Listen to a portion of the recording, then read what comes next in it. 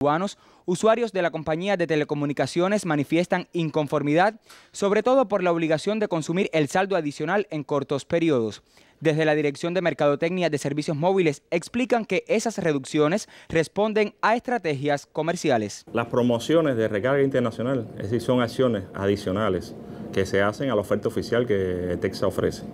Esto significa que eh, pueden ser eh, variadas en dependencia de la ocasión, el momento de su aplicación. Ellas pueden fluctuar en cuanto al volumen de recursos que se ofrece, el monto de dinero que se entrega y en la duración del periodo. Es bueno señalar que el monto que se recarga en los últimos tiempos ha sido 20 o 15 CUC en cada una de las promociones que se han realizado, es respetado y se recarga en el saldo principal del cliente. Esto significa que el cliente llega a su saldo principal, tiene ese dinero y puede hacer con él todo lo que puede hacer con el saldo principal.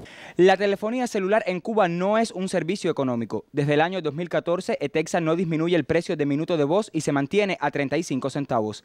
Esa condición, aún distante del bolsillo del cubano, motiva no pocas inconformidades. El bono tiene diferentes, puede tener diferentes duraciones, ¿sí? no necesariamente una promoción tiene que parecerse a otra, puede tener diferentes duraciones y esto depende del momento en que se realiza la promoción. Si en el momento eh, están saliendo otras ofertas y pudiera colisionar de alguna manera eh, desde el punto de vista de tráfico, habría que entonces hacer alguna regulación y se puede, eh, puede ser más corta, más larga.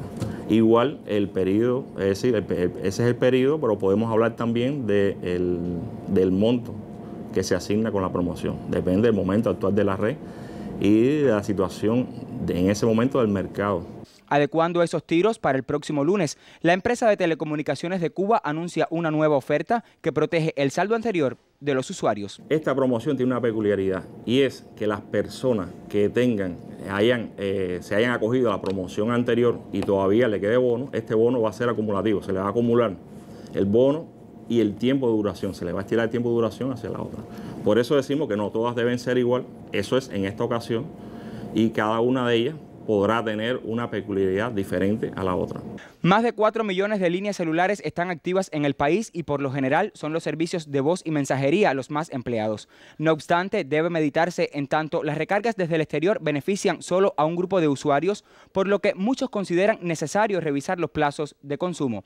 Propuesta fundamentada en el hecho de que no todos pueden recibir una recarga cada vez que Texa lanza al mercado una nueva promoción.